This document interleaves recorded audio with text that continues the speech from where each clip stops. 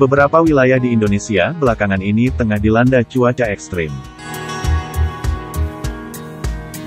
Angin kencang dan kilat, melanda sejumlah wilayah, menyebabkan pohon tumbang dan tanah longsor.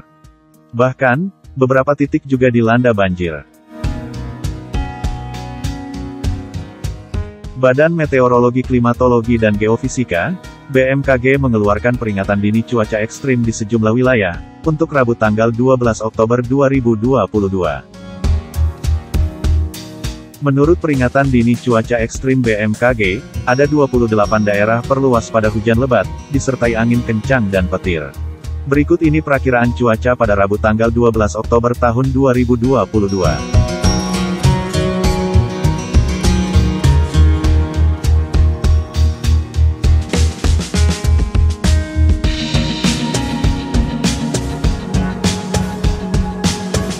Beberapa wilayah di Indonesia belakangan ini tengah dilanda cuaca ekstrim. Angin kencang dan kilat, melanda sejumlah wilayah, menyebabkan pohon tumbang dan tanah longsor. Bahkan, beberapa titik juga dilanda banjir.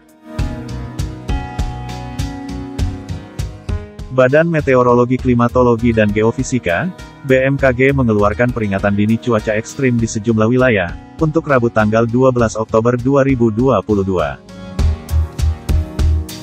Menurut peringatan dini cuaca ekstrim BMKG, ada 28 daerah perlu waspada hujan lebat, disertai angin kencang dan petir. Berikut ini perakiraan cuaca pada Rabu tanggal 12 Oktober tahun 2022.